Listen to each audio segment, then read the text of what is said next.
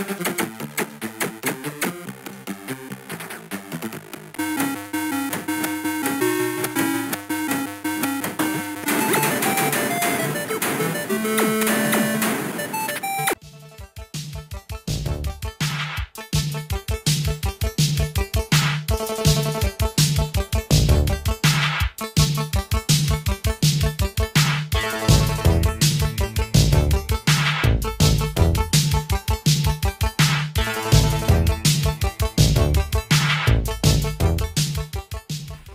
Okay, before I start today's RetroBat and Lynx setup guide for Windows PC, if you like what you see today, hit notifications, subscribe and like so you don't miss upcoming retro emulation content here on my channel, just Jamie. That means you'll get notified every time I release a new setup guide and it really helps out my channel too, for which I'm always really appreciative of. So first things first, if you're new to my channel, I've got a massive playlist full of RetroBat goodness, as well as other front-end systems.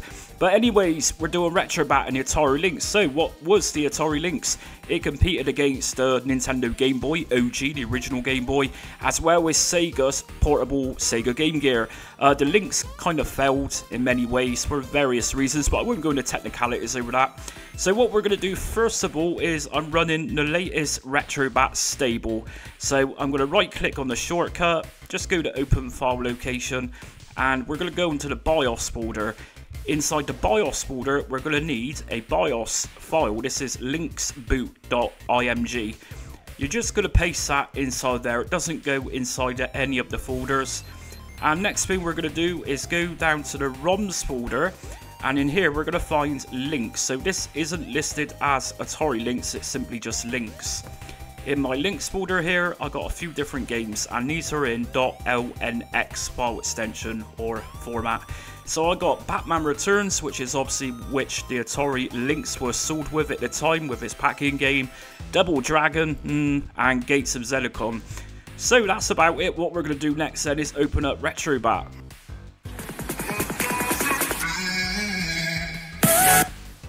Okay, if you've done this correctly, you should see Atari Lynx appear. So if we go inside of Atari Lynx, we're going to see our games in here. So first thing we need to do really is scrape some artwork. If you press start button on your controller, just go to scrape, scraper settings and make sure at the bottom your username and password is in there and of course you need ScreenScraper account to scrape this using the ScreenScraper database ScreenScraper is absolutely free under systems included just make sure Lynx is checked and we're going to scrape okay scrape and finish update game list. Let's go up to game settings update game list and yes. Okay so we got artwork and we got some preview videos. So it doesn't look the greatest, so what I'm going to do is just download a new theme. So updates and downloads, themes, and I think I'm going to go for Alekfull NX install, and we're just going to wait for this one to download and extract. Okay, so if we press B to come out, what we're going to do is just quickly apply the new theme. So theme set, Alekfull NX, back, and here we go. If I go into Lynx now, that looks a lot better. Okay, so other things we can download to enhance our Lynx games look is again in main menu by pressing start, go to updates and downloads.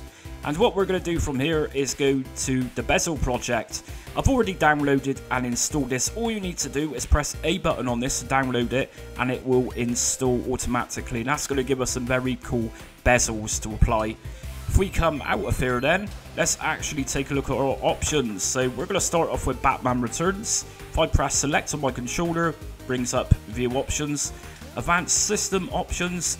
Emulators we got for this is going to be using Mednafen Lynx, which is a retro core. Remember that we're starting from auto.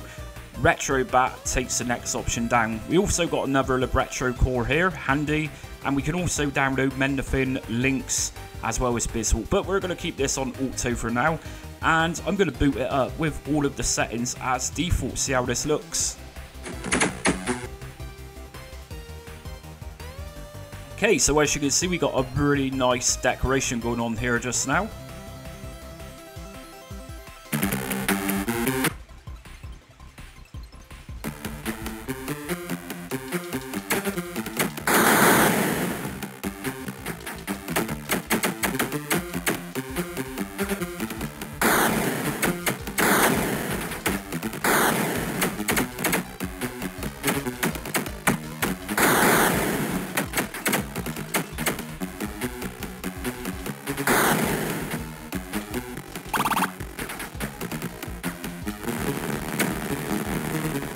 So if I just use my hotkeys to come out of that, as we can see, it's very pixelated. I actually wanted this system for Batman Returns when I used to buy the Ancestral Trail magazine back in the day. The Atari Lynx with Batman Returns was always advertised in that magazine at the time. So if I go to Advanced System Options, in fact, what we can do is apply video settings per game. If I just come out of there and hold down the A button, this is going to open up options for Batman Returns and Batman Returns only.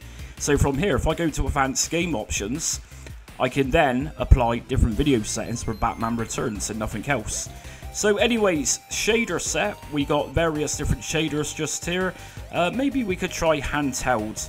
And game aspect ratio, I seriously suggest leaving this to auto 4x3. If you were to put this on full or 16 by 9, the most popular aspect ratios, this game is going to look ridiculously overstretched and it looks pretty pixelated as it is.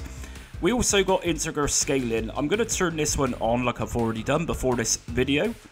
Vertical sync, I'm going to turn this yes to avoid screen tear. Not that we're going to see much screen tear with Atari Lynx games, but nevertheless. If we go down to visual rendering, video filters, we got some more filters just here so we can upscale things.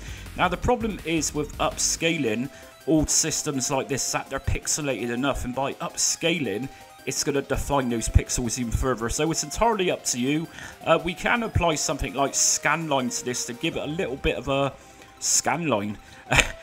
we also got smooth gain bilinear filter. If I turn this one on, uh, other things we got is drivers. Now Whilst I'm in drivers, we go into video.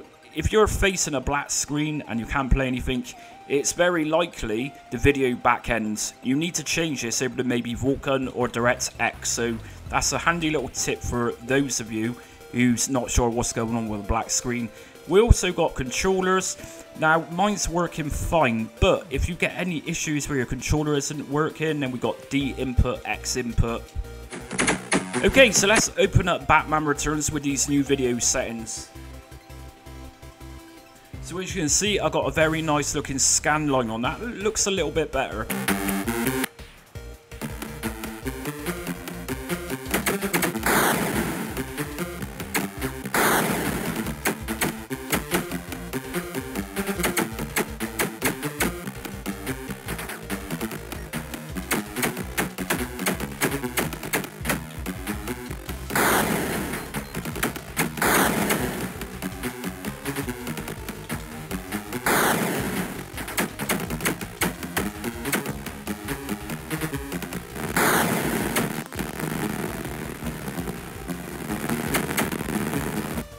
So that game is still a very tough game. It really is.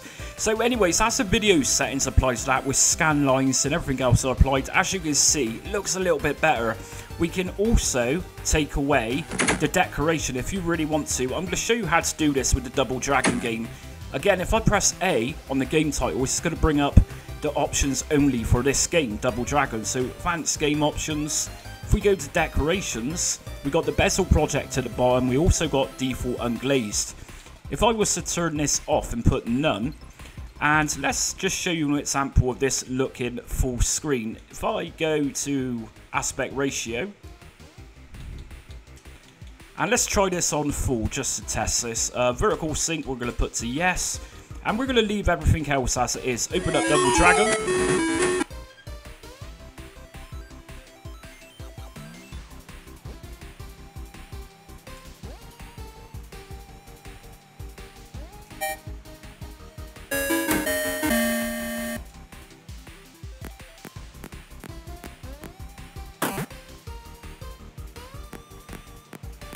So as you can see with that, almost unplayable. So really, I think by the looks of it, the best option is is to actually put the decoration to either bezel project or default unglazed.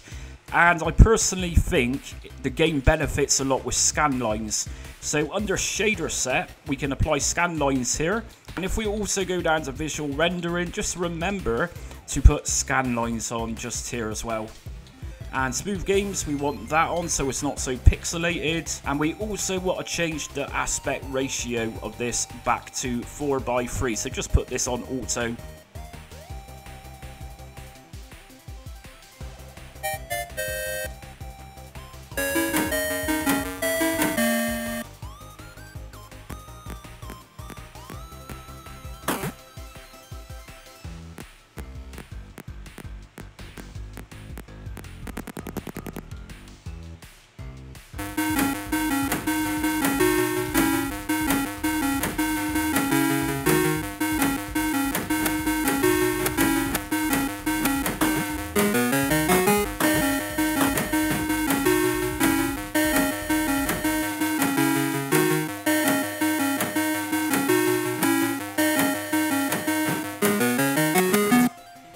So as you can see that looks miles better and finally we got the Gates of Zendocon. Now I've never played this game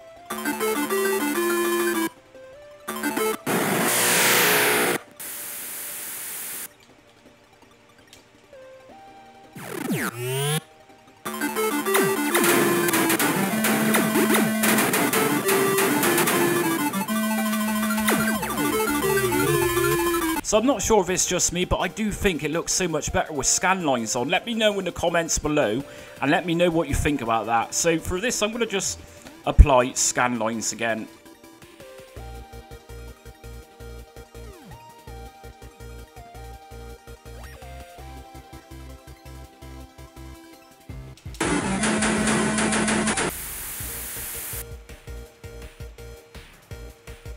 And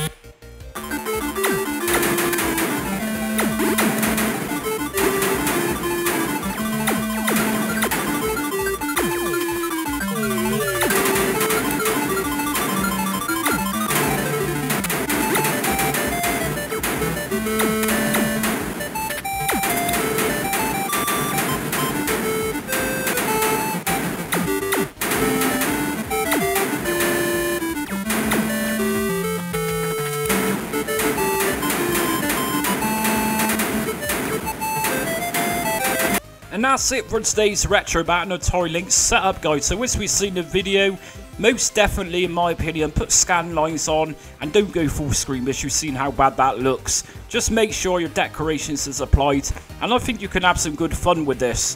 So anyways, if you liked today's video, hit notifications, subscribe and like so you don't miss upcoming retro emulation content.